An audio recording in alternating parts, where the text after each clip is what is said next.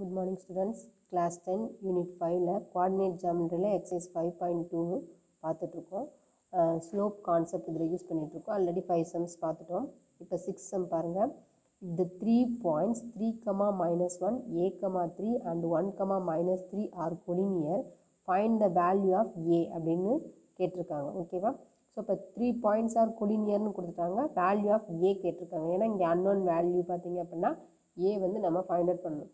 நமக்கு என்ன தெரியும்? பாயிண்ட்ஸ் ஆர் கொலினியர் அப்படின்னா ஸ்லோப்ஸ் வந்து ஈக்குவல்னு சொல்லி கா எடுத்துக்கிட்டோம் அப்படின்னா கொலினியராக இருந்துச்சுன்னா ஸ்லோப்ஸ் வந்து ஈக்குவலாக இருக்கும். ஓகேவா ஸோ இப்போ நம்ம அதுதான் ஸ்லோப் கான்செப்ட் யூஸ் பண்ணி தான் ஃபைண்ட் அவுட் பண்ண போகிறோம் இங்கே த்ரீ பாயிண்ட்ஸ் கொடுத்துருக்கனால நான் AB BC and AC find out பண்ணுறேன் இல்லை நம்ம ஏதாவது ரெண்டுத்துக்கு எடுத்துக்கிட்டு நம்ம ஈக்குவல்னு எடுத்துக்கிட்டு சொன்னால் போதும். ஓகேவா நான் உங்களுக்கு மூணுமே போட்டு காமிச்சிருக்கேன்.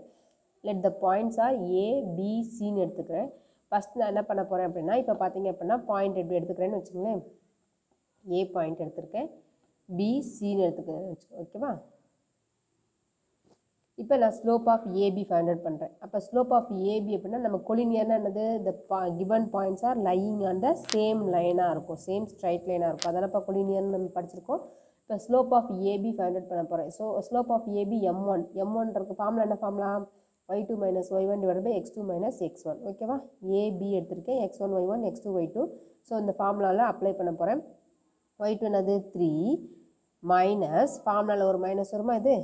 த்ரீ மைனஸ் ஒய் ஒன் அப்போ மைனஸ் ஒன் ஓகேவா அப்போ என்ன ஆகும்? Three minus of minus plus அப்போ three plus one divided by X two என்னது? ஏ மைனஸ் எக்ஸ் ஒன் அப்போ ஏ மைனஸ் த்ரீ ஓகேவா அப்போ three plus one four divided by A minus three அப்போ ஸ்லோப் ஆஃப் ஏபி என்ன கிடச்சிருக்கு? Four divided by A minus three அப்படின்னு கிடச்சிருக்கு. ஓகேவா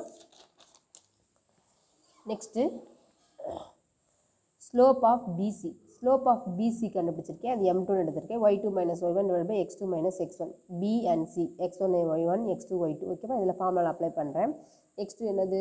சாரி ஒய் டூ என்னது? மைனஸ் த்ரீ மைனஸ் ஃபார்முலாவில் இருக்கக்கூடிய மைனஸ் அண்டு ஒய் ஒன்னோட வேல்யூ த்ரீ ஓகேவா டிவைடட் பை எக்ஸ் ஒன்னோட எக்ஸ் டூவோட வேல்யூ வந்து ஒன் மைனஸ் எக்ஸ் ஒன்னோட வேல்யூ ஏ இப்போ ஒன் மைனஸ் ஏ ஓகேவா அப்போ என்ன ஆகும்? Minus three minus three minus six divided by one minus இது எம் டூன்னு எடுத்திருக்கேன் இது ஸ்லோப் ஆஃப் பிசி ஓகேவா நெக்ஸ்ட்டு ஸ்லோப் ஆஃப் ஏசி நான் ஏதாச்சும் ரெண்டு ஃபைண்ட் அவுட் பண்ணாவே போதும். நான் மூணு உங்களுக்கு ஃபைண்ட் அவுட் பண்ணி காமிச்சிருக்கேன் ஓகேவா slope of AC equal to M three அப்போ Y two minus Y one divided by X two minus X one இதில் கொண்டு போய் ஏ அண்ட் சிக்கு அப்ளை பண்ணுங்கள் ஒய் டூ என்னது? Minus three minus minus one ஓகேவா divided by one minus three அப்போ minus three minus of minus plus அப்போ minus three plus one divided by minus two அப்போ மைனஸ் த்ரீல ஒன் போச்சுன்னா minus two divide by minus two minus minus cancel ஆகிடும் one two one two sir one two sir இப்போ cancel ஆகிட்டு நமக்கு ஒன்றுன்னு கிடச்சிருமாப்பா. ஸோ இப்போ ஸ்லோப் ஆஃப் ஏசி வந்து எம் த்ரீ ஈக்குவல் டு ஒன்னுன்னு ஃபைண்ட் அவுட் பண்ணியாச்சு. இப்போ நமக்கு என்ன தெரியும்? பாயிண்ட்ஸ் ஆர் கொலினியர்னா ஸ்லோப்ஸ் ஆர் ஈக்குவல் ஏதாவது ரெண்டு இதை எடுத்து நம்ம ஸ்லோப்ஸ் ஈக்குவல்னு எடுத்துக்கிட்டு ஏவோட வேல்யூ ஃபைண்ட் அவுட் பண்ண போகிறோம் இப்போ மூணுமே கண்டுபிடிச்சிருக்கோம் நம்ம. எம் ஏபிக்கும் கண்டுபிடிச்சிருக்கோம். பிசி கண்டுபிடிச்சிருக்கோம்.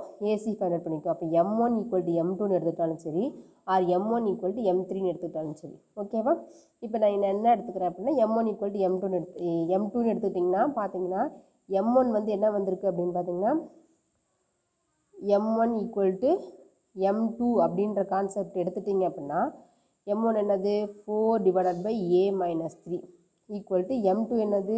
Minus six divided by one minus A so இங்கே ரெண்டுமே நமக்கு ஏன்றதுனால கொஞ்சம் இதாக இருக்கிறதுனால நான் சிம்பிளாக இருக்கிறதுனால இங்கே ஒன் இருக்கிறதுனால இதை எடுத்துக்கிறேன். இப்படி ஈக்குவேட் பண்ணாலும் உங்களுக்கு வந்து இப்போ நீங்கள் கிராஸ் மல்டிப்ளை பண்ணுவீங்களா? கிராஸ் மல்டிப்ளை பண்ணிங்கன்னா கிராஸ் மல்டிப்ளை பண்ணிவிட்டு ஈக்குவேட் பண்ணாலும் உங்களுக்கு ஆன்சர் இதே தான் கிடைக்க போகுது.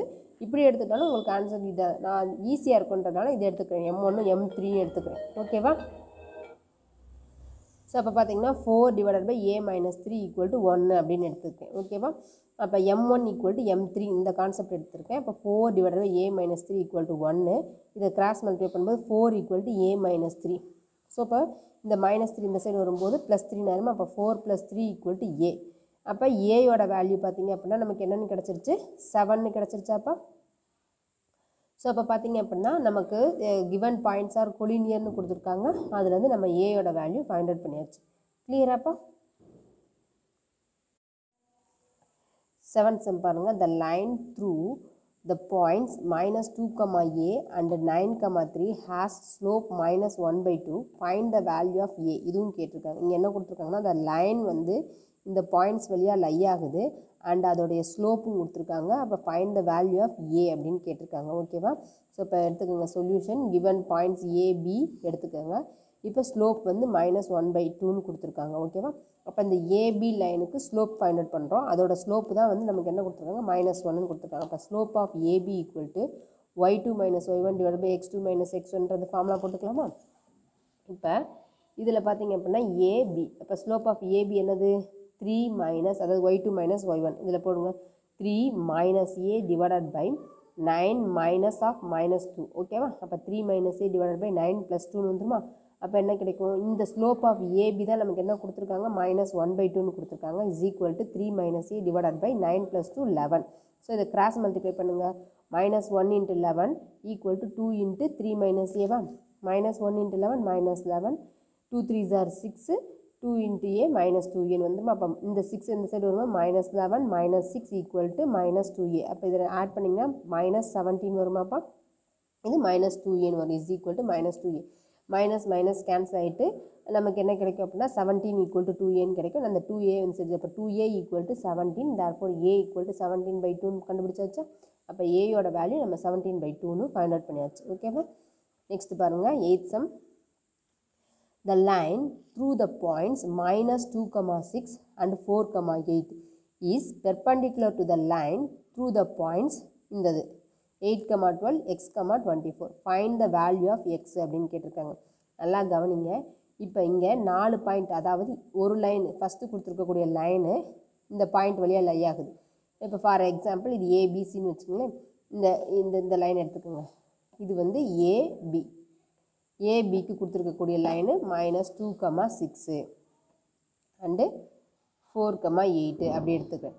Is perpendicular to the line through the பாயிண்ட்டுன்னு கொடுத்துருக்காங்க. இப்போ இந்த லைனுக்கு பெர்பண்டிகுலராக இருக்க மாதிரி இப்படி எடுத்துக்கோங்க. இந்த லைனுக்கு eight comma twelve X comma twenty four ஓகேவா